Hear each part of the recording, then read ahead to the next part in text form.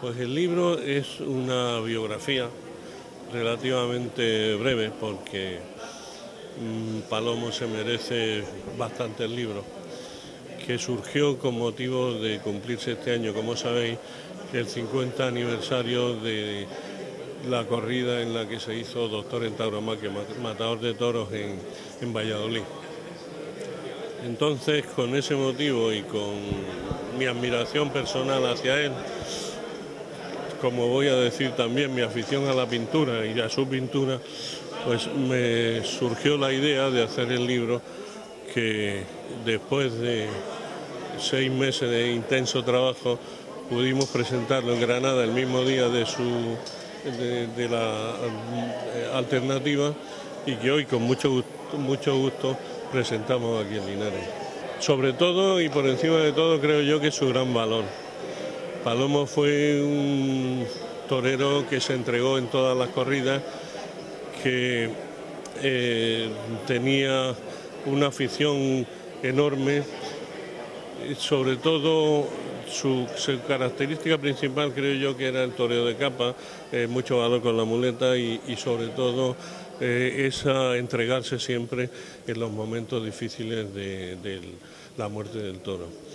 Las estocadas que daba Palomo eran espeluznantes. Tenemos algunas fotos muy bonitas, muy interesantes, y creo que su recuerdo en la historia del toreo debe quedar para siempre.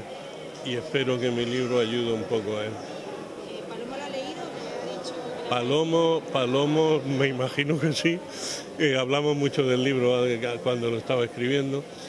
Me contó muchas anécdotas que van en el libro, otras muchas que no han podido ir y que posiblemente vayan en una segunda edición.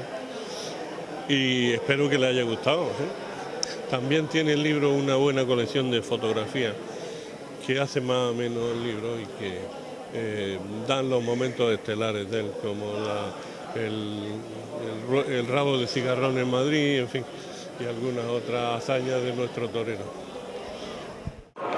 Eh, viene pues parte de mi, eh, mis actuaciones, parte de mis exposiciones, parte de mi vida, pero bueno, estamos planeando hacer un, el gran libro y que espero que dentro de, de un tiempo salga a la luz, yo creo que puede ser muy interesante, sobre todo de una biografía eh, lo que ha sido pues toda mi vida desde que tengo uso de razón. Ah, no, muy contento, muy feliz de haber llegado a los 50 años de alternativa. Eh, para mí, eh, un día como hoy, un reconocimiento de todas las entidades taurinas de mi pueblo. He tenido homenajes por mi 50 aniversario pues, en distintos sitios de España, también de América, de Francia, pero la verdad que para mí la ilusión más importante es mi pueblo, el, volver 50 y tantos años después de que salí buscando ser matador de toros y volver a un día como hoy, un reconocimiento del mundo taurino, un cariño de mi pueblo y sobre todo llegar a finalista a los 50 años. Queremos seguir muchísimos más, por supuesto. Yo creo que no es la situación taurina en Linares, no. Es una cosa que hemos pasado una crisis muy grande en todos los aspectos, no solamente en lo taurino. La verdad que hoy se está maltratando un poco por entidades políticas, entidades demagógicas y sobre todo hay entidades que están en contra de todo, sobre todo de la libertad.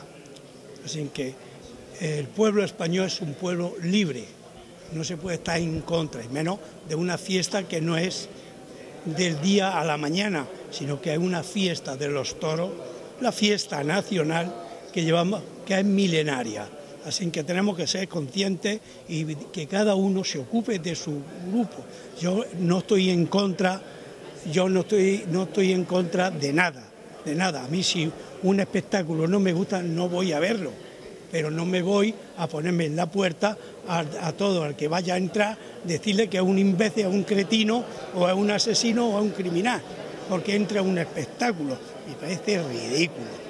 Y la política, que está muy enraigada en en contra de todo, que se encargue un poquito más de los problemas de los españoles, más que de prohibir, de los problemas de los españoles que son quienes están pagando sus comidas, sus bebidas, sus viajes, sus amigas, sus mujeres y el colegio de sus hijos. Que se ocupen de los españoles.